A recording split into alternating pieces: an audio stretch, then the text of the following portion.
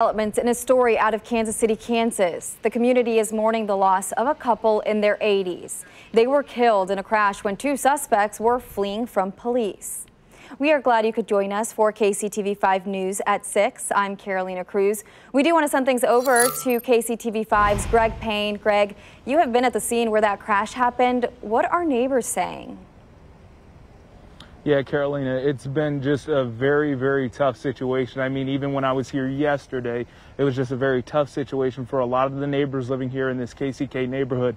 Now, where this incident occurred was right over here, and as you can see, the, the bent stop sign over at the uh, corner of the intersection of North 17th Street and Orville. Now, take a look over here. You'll see the tree. That is actually where the Madruga's vehicle was pinned up against that tree, but you have noticed there are some flowers there. The community members throughout this area have stopped by and, and laid some flowers. I did actually run into some family members that were, were laying some flowers down as well. And it's just been one of those things where all throughout the day, I've been here for uh, a couple of hours earlier on, and throughout the day, you've just seen a lot of the community members stop by, you know, many of them are either passing by and you notice they slow down their vehicles and they just kind of look at the site.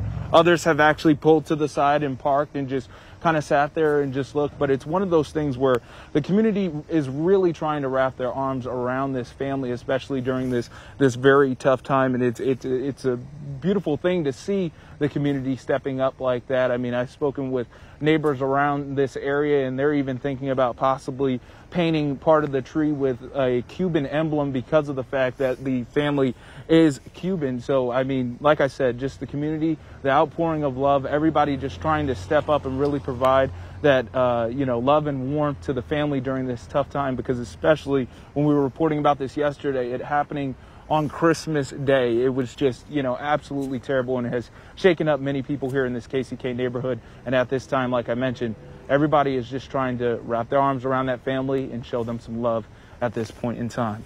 Reporting live here in KCK, I'm Greg Payne for KCTV 5 News. Yeah, they'll definitely need that community support. Oh, that's tragic.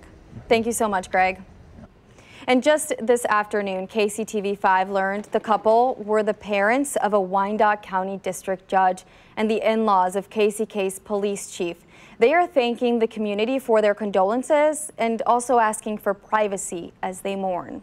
Meanwhile, police have one man in custody and they are searching for the second one involved in that crash. 26-year-old Jesse Acosta the third was the passenger in that stolen truck. He is currently booked in Wyandotte County Jail. Police are still searching for the 22-year-old driver who ran away. And we are all